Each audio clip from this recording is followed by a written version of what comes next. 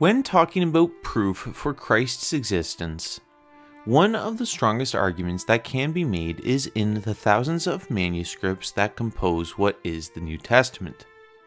To date, there are approximately 5,800 manuscripts at our disposal that make up the works of the Christian canon. To make a comparison, we'll be looking at manuscripts from other ancient writings and see how they compare with the Gospels and epistles of the New Testament.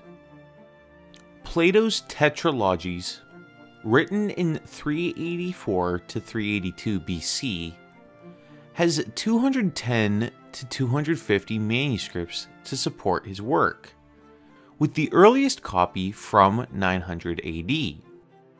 The Histories by Herodotus, originally authored in 425 BC, has eight manuscripts, and the earliest copy is 900 AD.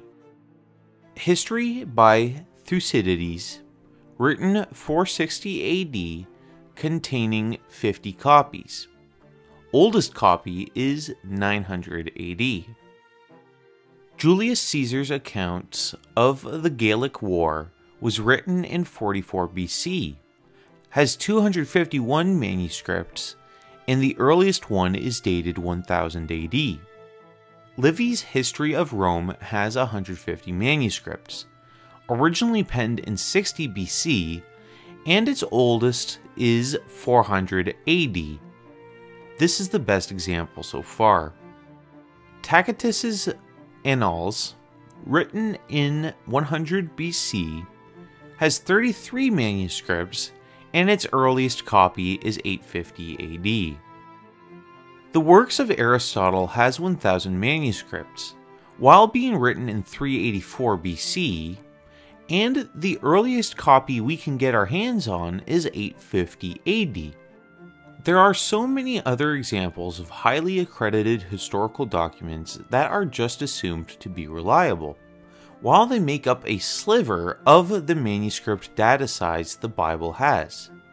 These Christian Greek manuscripts, which even go into the 4th to 5th century, are known primarily as the Byzantine text line, descended through many churches over two millennia, and originated from Antioch, Syria.